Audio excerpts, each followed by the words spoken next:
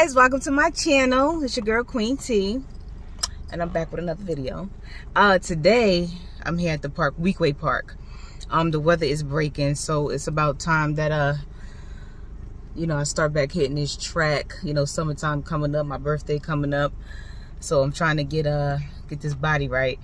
So um i'm gonna take you guys with me a little bit but not the whole way because um it took me about like 40 minutes to complete this park.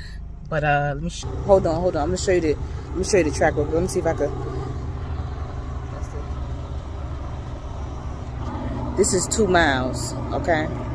So um i'm gonna hit the track for a minute and then i'm gonna come back. Let me get myself together. I gotta turn my car off and shit. Hold on. Okay so i'm on a, the path now. As you can see yeah i'm on the path right now. Uh it's been a minute. This is gonna be tough. This is gonna be tough. But uh like i said uh i'll get back with y'all when i get done.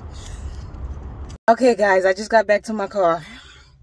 It is uh i think 712 i started at 6:30, so uh a little over half an hour. But uh i tell you one thing it felt good. My back sweating, you know. Uh, I know I burned some calories.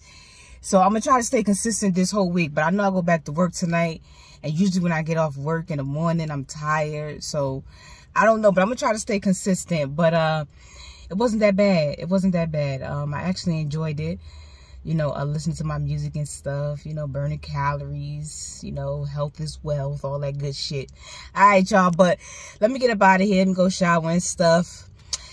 Thanks for watching. Please like and subscribe.